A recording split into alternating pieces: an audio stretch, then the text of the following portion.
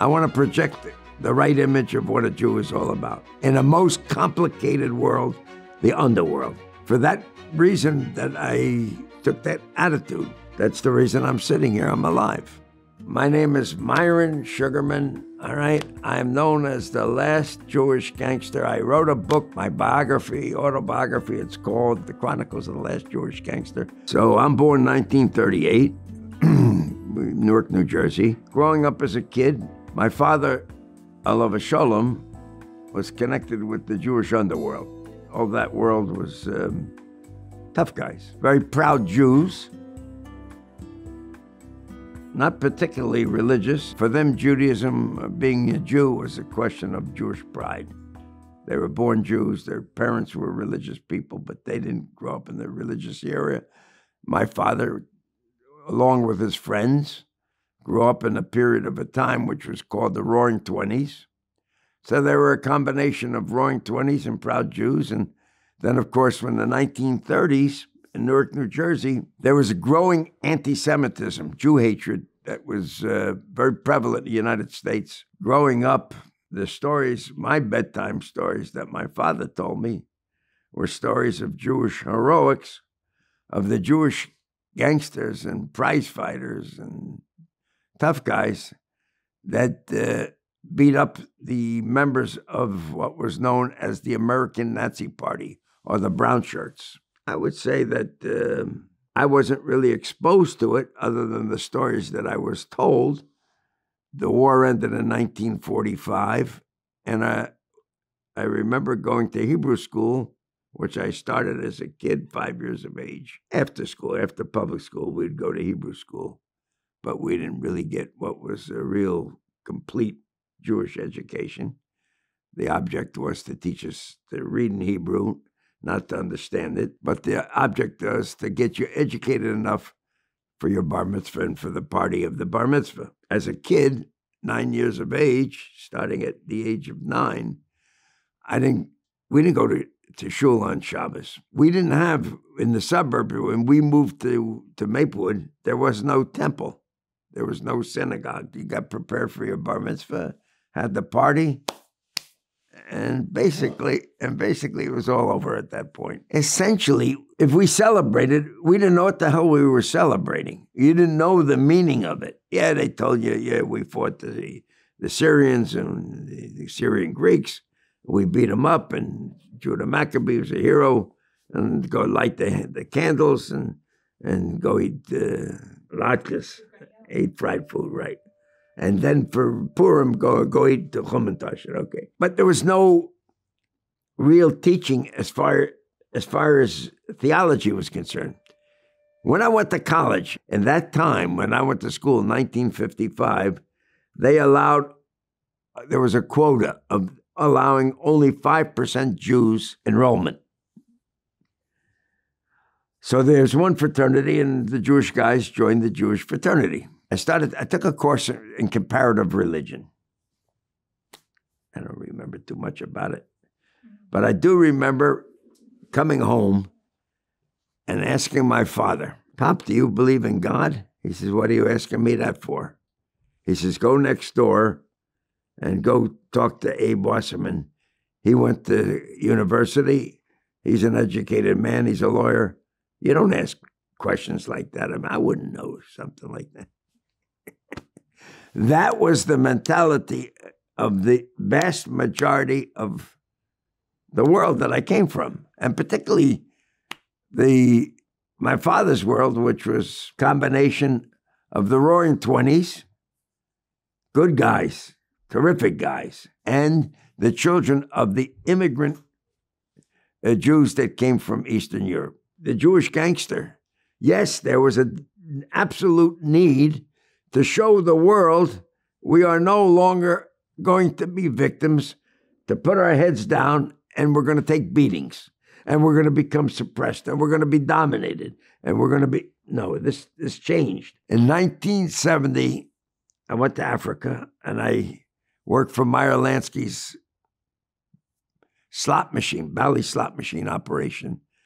They had made joint venture partnership with two gangsters from Beirut, Lebanon, two Arabs. It was quite an experience. I stayed there for over a year. The the Arabs bought back the business. I came home. They wanted the they pleaded with me to stay with them, and this was Lagos, Nigeria. But uh, I came home, and a few years later, I decided to go into the slot machine business in New York City, which was completely illegal. We put out the first machines in back rooms of bodegas in New York, 19 July of 1977. It took two months. Everybody in New York, every gangster in New York knew me or heard of me and needed to, um, wanted to get into the business. They heard about the Jew from Jersey. I was a popular figure.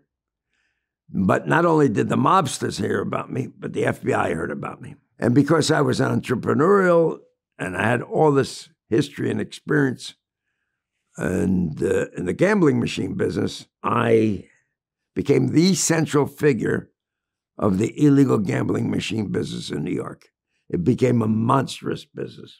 Shortly afterwards, uh, there was a dispute between different mobs as to my mob affiliation. However, that got resolved and clarified because I came came one day to my office. Three gentlemen sat down and explained the rules of the underworld are your father was with us, and therefore your identification is with our specific mob. You um, identify as a Jew, and do people respect you because you were Jewish? I made it very clear I was a Jew. And I made it very clear you're going to get a fair deal with me. And I always, always uh, made it my business to make sure that everybody was comfortable with a deal. And I said, the reason I do that is because I want to project the right image of what a Jew is all about. In a most complicated world, the underworld.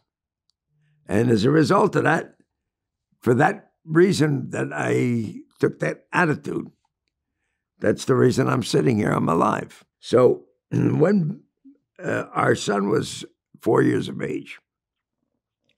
I'm married to a Jewish girl from Buenos Aires, daughter of Polish immigrants who raised their daughter not in any way religious, but strictly cultural. Everything was Yiddish. The Yiddish language spoken at home, Jewish food, Jewish theater, Yiddish theater, Yiddish music, Yiddish literature, Yiddish shula. She went to school to learn Yiddish so she could write the letters to the mishpucha in all over the world who um, emigrated to France, to Belgium, to Israel, to Canada, to Brazil, to the United States. So everything was Yiddish.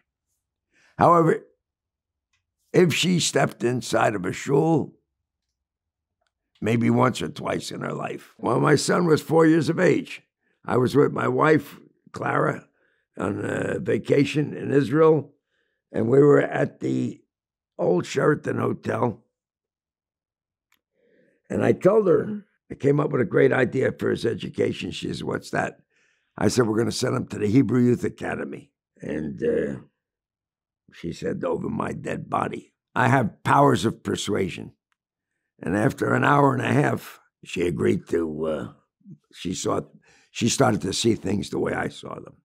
Anyways, that young lad, that ba- that four year old today, is a Talmudic scholar, great rabbi, gives daf yomi, eight mezuzah kissing kids. Now we reconciled. I reconciled my world.